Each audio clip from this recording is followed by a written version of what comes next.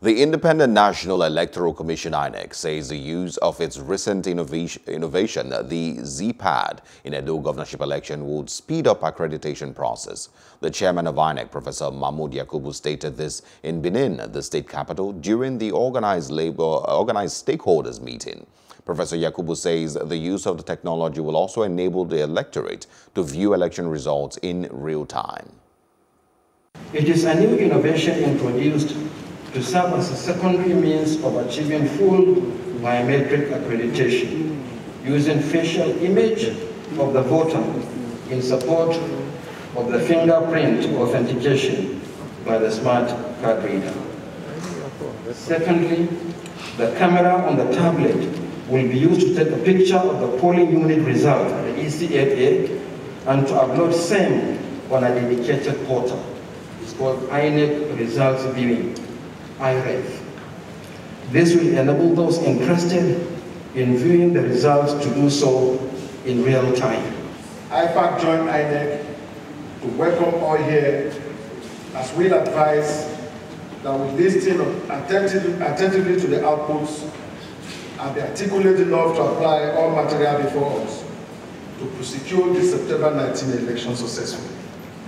As part of our election security plans, all the three senatorial districts, 18 local government areas, 192 wards, and 2,627 polling units across the state have been appropriately mapped out and adequate deployment will be made to ensure security. You said that the components of the Z panel for accreditation and authentication get to the budget right So what happens in the polling units when the voter goes in and swipes his voter card, takes own and it is not verified?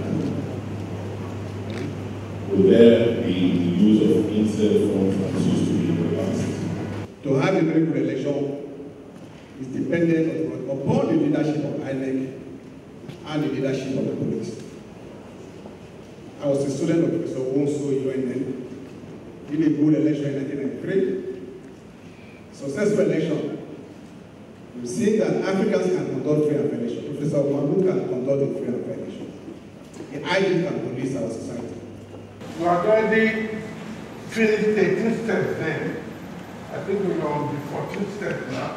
We are getting close to it. Read it the parent wishes you the grace, the courage, the enablement from all the portals that will make this election free, fair, credible.